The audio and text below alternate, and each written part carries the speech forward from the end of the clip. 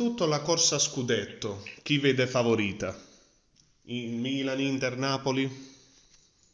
Ma eh, allora, premesso che era da forse non so quanti anni che non assistevamo a una corsa a tre, non a due. Di solito era a due, quest'anno è a tre.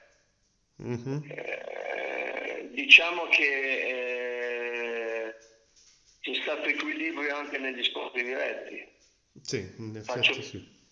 Faccio un esempio, equilibrio negli scontri diretti nel senso che Milan che, che perde in casa col Napoli e, il Milan che, che, poi vince il derby, l'Inter che, che pareggia Napoli, ecco insomma c'è stato un po' di un po' di equilibrio, equilibrio che ci sarà secondo me fino al termine del campionato e secondo me eh, leggermente favorita vedo l'Inter per la, per la qualità della rosa, per, per, i ricambi che ha e soprattutto è probabile che dopo il risultato dell'andata l'Inter esca dalla Champions, per cui di mm. conseguenza punterà tutto sul campionato.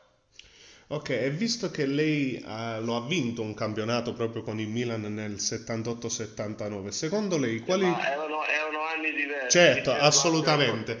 Però quello che volevo chiedere è quali, che, che qualità servono all'interno di una squadra per essere competitivi e puntare a vincere un campionato di serie, di serie A, pur premettendo giusto appunto che i tempi ma, sono diversi. Ma il Milan, questo Milan aveva quelle qualità che avevamo noi nel 40 anni fa, più di 40 anni fa, cioè era un Milan eh, solidale, un Milan omogeneo, un Milan... quello era un Milan che non aveva grandi poi classe, parliamoci chiaro. Okay. Eh, l'unico era Gianni Rivera, che era Gianni Rivera, poi... Gianni Rivera, è, Gianni Rivera è tu, Fulvio. No, beh, c'era Franco Baresi, però era un Milan che giocava un calcio totale, fece gol 9-10 gol, 10 gol li faceva Albera, terzino sinistro, cose da altri tempi, cioè non, eh, il, il capocannoniere fu, fu Chiodi, il nostro attaccante fu Chiodi con 9 gol. Cioè questo è un Milan che per certi versi si rivede in quello, cioè un Milan che si gioca con, con, con tutta la squadra, la, perché c'è un solo giocatore, anzi forse ce ne sono due. Uno che purtroppo l'età, per limite di età, può giocare fino a un certo punto che è Ibrahimovic. E l'altro è Leao. Ci sono, sono i due giocatori che hanno il cambio di passo, il cambio di marcia, che hanno i colpi da fuori classe, eh, eh, capito? Eh, certo. Per cui di conseguenza io mi vedo molto in quel Milan là, che era un Milan che giocava compatto con tutti... Ecco, se questo Milan di adesso non gioca intenso, non è un caso che contro Salernitana non è che sia mancato un giocatore, certo. è mancato tutta la squadra. Certo. Proprio, perché, proprio per quello che dico io, cioè eh, il Milan è una squadra che deve giocare bene con tutti, poi il colpo, il pezzo di bravura te lo fa magari Ibrahimovic, te lo fa Rebic o te lo fa Leao, i giocatori che hanno più qualità, chiaramente. ma però deve giocare eh, con intensità e con cattiveria tutta la squadra, non, non, non singolarmente. Eh. Possiamo dire che è una squadra che quando vince vince di gruppo, non si affida. Poi vince per carità. Gruppo. Eh beh, sì. Visto che ha fatto qualche nome di giocatori singoli, quale, quale giocatore l'ha colpita di più quest'anno? Il Milan? Sì, certo, sì. Bah, eh, un giocatore che che per colpi tecnici, beh, innanzitutto tonali, che parliamoci chiaro, eh, cioè se pensiamo ad un 2000, la personalità, la, la, la, la, padronanza nel gestire la palla, insomma, tonali penso che possa essere eh, il giocatore, il giocatore che per dieci anni può essere eh, capito? il perno, il perno del centrocampo. Il ecco perno magari. del centrocampo. Poi i colpi di Leao, però deve trovare continuità, a volte dal, dall'idea di essere troppo discontinuo. Uh-huh. E poi in difesa mi piace molto Tomori, però ha avuto l'infortunio, insomma, deve riprendere, deve riprendersi, perché dopo, quando hai degli infortuni è sempre un po' difficile certo. riprendersi, ecco. per cui eh, sono questi i giocatori. Un altro buon acquisto è stato Magnani, al di là del può capitare di contro la Salernitana, però qualche, tanti avevano dei dubbi dopo, dopo l'addio di Donnarumma, invece lui ha dimostrato di essere non solo all'altezza, ma anche essere un valore giusto. Quindi se, eh, abbinando a questa domanda invece in quale giovane vede più margini di miglioramento o comunque sia una parvenza di fuori classe, detto che comunque sia Tonali già un po' risponde a questa domanda. Magari a parte Sandro? Ma io... Se dovesse fare un nome su chi punterebbe? su chi punterei? Sì, come, come potenziale fuoriclasse. Dice, secondo me questo ragazzo qua tra 3-4 anni può diventare veramente un fuoriclasse. Magari Leao, collegandoci al discorso di prima. Secondo me, secondo me dobbiamo fare attenzione anche in chiave nazionale a Leao. Che, cioè, mm, mm, mm. noi è probabile che incontriamo il Portogallo e il Portogallo ci trovi con, con Cristiano Ronaldo, con Leao, con, con Silva. Eh, I colpi se, se riesce con la, con la, maturità i colpi ce li.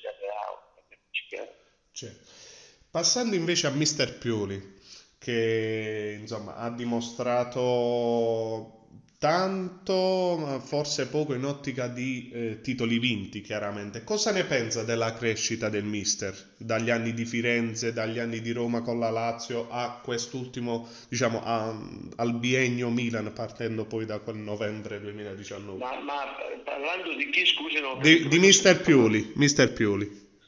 Ma Pioli è, è un allenatore che, che che, che secondo me è maturato molto nel, nella gestione della gara e nel, e nel gestire il gruppo. Eh, ha avuto delle esperienze, cioè parliamoci chiaro, poi Pioli, se tu parli delle esperienze che ha avuto alla Fiorentina, l'esperienza che ha avuto la Lazio, non ha mai avuto esperienze negative.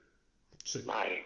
In effetti. Però gli mancava il salto di qualità e penso che questo salto di qualità lo ha fatto, lo ha fatto così. Eh, cioè non, non, non, è un allenatore che dici, eh, no, cioè non ha mai fatto brutti campionati, ha sempre fatto campionati mm, dignitosi, campionati da, da, da, anche da prime posizioni, da, zone c'è, da zona Europa League, però gli mancava questo salto di qualità che ha fatto adesso con Milan.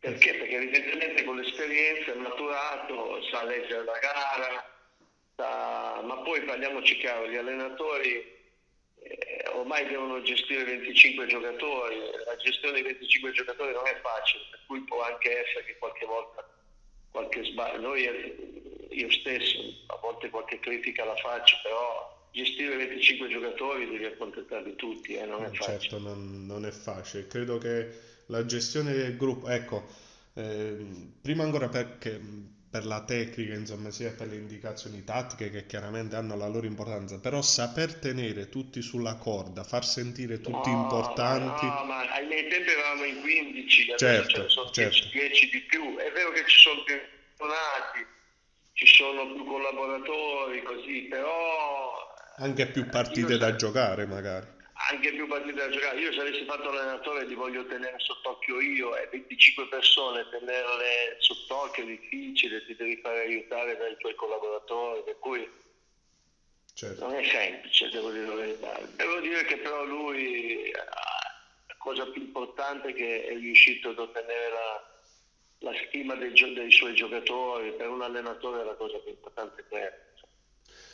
Passando invece a Frank Kessi, è tutta la situazione che purtroppo ai Milan, ai tifosi rossoneri eh, lo circonda. Cosa ne pensa? Molto semplicemente, partendo dalle Ma dichiarazioni allora, che aveva allora, fatto. cosa voglio dire? Prego. Se il Milan, siccome fa parte, dello, fa parte della squadra che deve vincere lo scudetto, il tifoso non deve fischiarlo. A giugno faccia quello che vuole, fischi. Però fino adesso fa parte del gruppo e va, e va, va sostenuto perché il tifoso deve pensare alla squadra, non a te sì.